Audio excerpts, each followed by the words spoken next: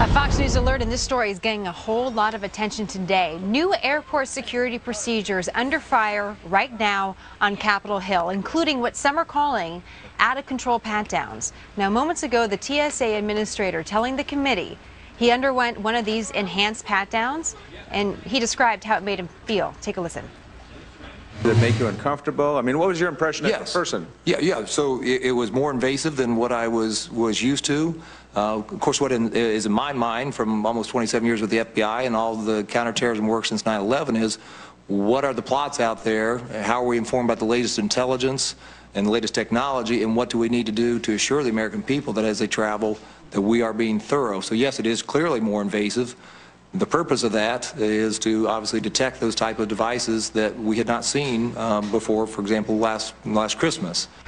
Well, a woman from Ohio uh, found out just how invasive uh, some of these pat downs were. She was traveling with her baby earlier this month, and she claimed she was never warned just how intrusive it would actually be. And she's also claiming that this invasive procedure amounted to sexual assault. And she's our next guest, Erin Chase, blogger and author who lodged the complaint and had this experience. So, Erin, a lot of us have been through airport security. Some of us have been through the pat down process. What precisely happened uh, this time that was different? You know, I went through security. I had my baby with me. I was traveling with his special needs formula that comes in a can, so I knew to expect. I travel with him every several weeks. I knew to expect that they would, you know, scan that with the, the paper discs and check for the explosives. I came through the metal detectors with no problem. All of my stuff was taken to the middle um, security um, table in the middle to do the explosive testing. Um, the, the TSA agent asked me if I was aware of the new policies for taking liquids through security that were instated four years ago. I told her yes because I travel with my baby every couple weeks. Um, a, few seconds later, she told me to step over to the black mat for a pat down. Um, I was holding the baby at the time. Um, she told me I had to put him down in the stroller. Um, she then instructed me to remove my shoes, to step my feet apart, hold my arms out. Um, I did all of those things. Um, she patted down my arms, my back, my lower back. Then she proceeded to go around my waistband with her fingers inside my waistband. She did tell me she was going to do that. Um, after that, she gave me no further instruction during the pat down. She then proceeded to touch my buttocks, um, both sides with the palm of her hand. She then moved around to the front, touched the tops of my breasts and underneath of my breasts. Again, she gave me no instruction that she was going to do that. Then she moved to the bottom of my legs, moved all the way up my inner thighs, touching my private areas. And again, she did not tell me she was going to touch me in any of those places. And then she said I was finished and went back to screening the rest of my belongings with the paper disc. And, and, and so, why are you calling this sexual assault? Um, I was given no warning. She didn't give me any instruction as to what's going to happen, which I understand is breaking the TSA's protocol. They're supposed to inform you of what they're going to do during the pat down. Um, I, I, received no notification when I purchased my ticket that the procedures had changed. I received no notification on the front side of security saying that the what the options were. There is not a, a, body scanner at the Dayton airport, so there wasn't even an option for me. I was completely forced into this. I was completely blindsided. I, I went into shock. I just stood there. When she was finished, I picked up the baby and I just stood there. I didn't know what to say. No words were coming out of my mouth, which was very frustrating. I wish I could have stopped it. But had I stopped it and opted out, I would be in a situation similar to John Tyner right now. Uh, Erin, did you see any other uh, passengers get patted down the same way?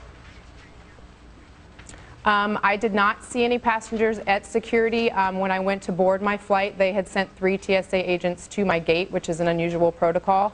Um, I later found out, and they did perform random pat downs there, and I did walk past a woman who received a pat down, and the TSA agent who gave her the pat down did instruct her very specifically what she was going to do during the pat down. I did hear her say that. Okay, you know, and we, we, we're obviously sharing your story because we've heard a lot of uh, these stories, too many to, to ignore, but the trouble with doing some of these stories, just to be perfectly honest, is that when we don't have video and we don't have other witnesses and we don't have a representative from the TSA, uh, it creates this, you know, we're, we're taking your word for it and we're not dismissing you at all. Don't, please do not take it that way. But I'm going to read a statement from the TSA because that is what we do have. And then we'll talk a little bit more about this. So this is what the TSA does say. The TSA constantly evaluates and updates screening procedures to stay ahead of evolving threats. We implemented an enhanced pat down at security checkpoints as one of our many layers of security security.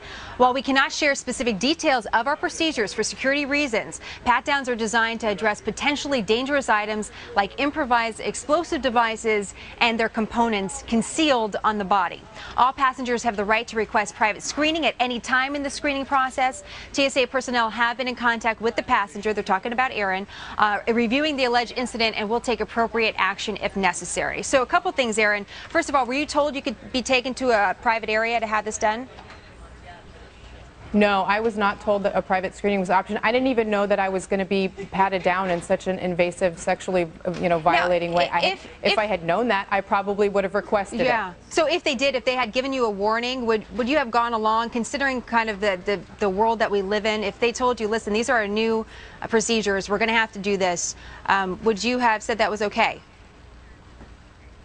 Um, you know what? I don't know. I, prob- I probably wouldn't have said that that was okay, and then I would be, you know, I, you're forced into it. If I if I had opted out, I would be subject to an $11,000 fine and a civil suit faced against Wow. me. So, you know, that's a choice I was going to have to make. You know, John Tyner, that's what's going on with him right now. So, you know, I, I was completely forced into the situation. And did they I had, follow up I with had you? no options out of it. Did they follow up with you as Um, no, said? I followed up with them to file the complaint, and they have not followed up since then. I just have a brief final question, and then I'm going to have to run because we've heard some from 9/11 families uh, speaking out, saying, "Listen, this is not a perfect process, but we're going to have to do something because we live in a world where people are trying to hurt us and blow up planes." I only have about 30 seconds, but what would be your response to, to some of those families that are saying that?